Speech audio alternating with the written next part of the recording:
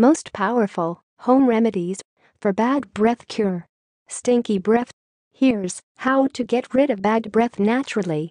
I understand how it can negatively impact on our social lives and can drive people away from us. But there are some simple steps we can take to drastically improve bad breath. Pay full attention and take some powerful tips. Number 1. Green and black tea. Herbal teas contain polyphenols, which have antimicrobial and deodorant effects that can last up to three hours. A study showed that volatile sulfur compounds were drastically reduced bad breath during a period after drinking green tea. The main point to take from this is the effects of green tea are powerful but short lived. But don't worry, it has been suggested that drinking 2 to 3 cups a day will be sufficient. If you space this out through the day, you pretty much guarantee your breath will be fresh. Number 2. Increase saliva production. Make a habit of chewing gum, lozenges, or mints, as they will stimulate saliva production.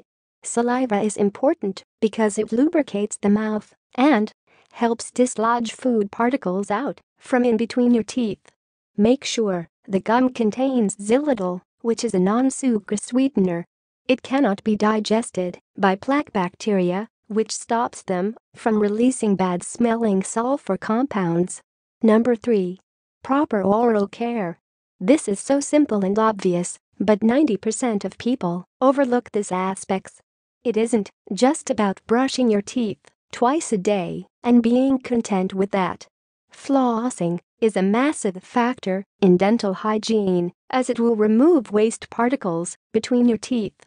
If you don't do this, bacteria will feed on this and release volatile sulfur compounds, which cause breath to smell so bad. Tongue cleaning is another important factor when it comes to the freshness of your breath. If you can see a white, greenish tinge on the back middle to front part of the tongue, you, my friend, have a dirty tongue. The easiest way to get rid of this gunk is get a silver spoon from the kitchen. Draw and turn it the other way around. And then start scraping your tongue from back to front. Eventually, you will see the white crap on the spoon, which is basically bacteria, food waste, and bad compounds that have built up. For a healthy breath, so do this every night before going to bed. Okay, you just learned. Most powerful home remedies for bad breath cure.